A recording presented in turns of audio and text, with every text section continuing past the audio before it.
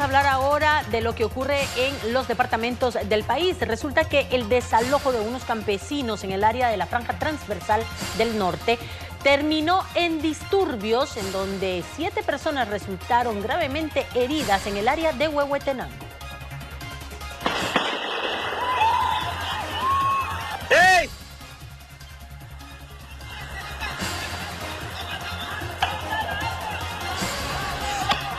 Siete personas heridas, entre ellos cuatro agentes de la Policía Nacional Civil y tres pobladores fue el resultado de un enfrentamiento entre las fuerzas policiales y un grupo de pobladores que se oponen a la instalación de una hidroeléctrica en la aldea Isquisis, San Mateo Ixtatán, Huehuetenango. Los pobladores mantenían bloqueado el paso de la franja transversal del norte durante más de 25 días como medida de presión. Debido a eso, un contingente de la PNC se desplegó al lugar para mantener el orden público. Sin embargo, este día cuando se encontraban en una negociación, la situación se salió de control y los enardecidos pobladores robaron una pistola de gas lacrimógeno de la institución policial. Al tratar de recuperarla, los comunitarios con piedras y palos arremetieron contra las fuerzas de seguridad. Tras varios minutos, los agentes utilizaron gas lacrimógeno para dispersar la turba. Por el momento, autoridades gubernamentales pretenden instalar una mesa de diálogo que ayude a evitar más confrontamientos. Estos problemas se vienen dando desde hace varios